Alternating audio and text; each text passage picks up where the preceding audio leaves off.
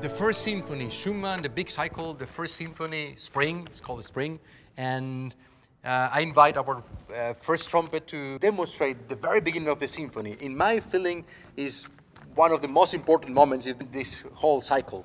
No pressure, but I think is you know this is the opening of the whole thing. Welcome, Thanks. thank you, John. It's Yeah, great to hear having you. Um, play something for us, and then we can talk.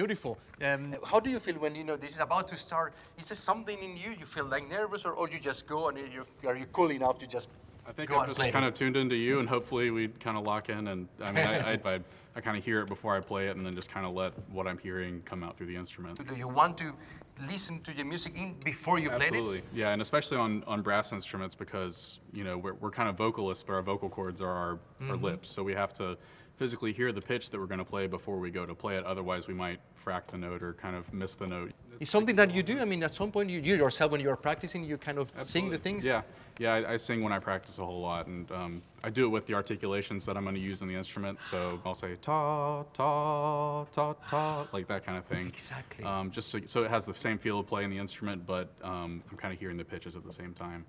Thank you for, for helping us, you know, to Absolutely. get into the Schumann. You are, as I said before, you are the one that opening the Schumann cycle. So it's a big responsibility. Springtime is here. Let's, yeah. Exactly. Thank you, John. Thank you Yeah, very much. absolutely. Pleasure. Thank you.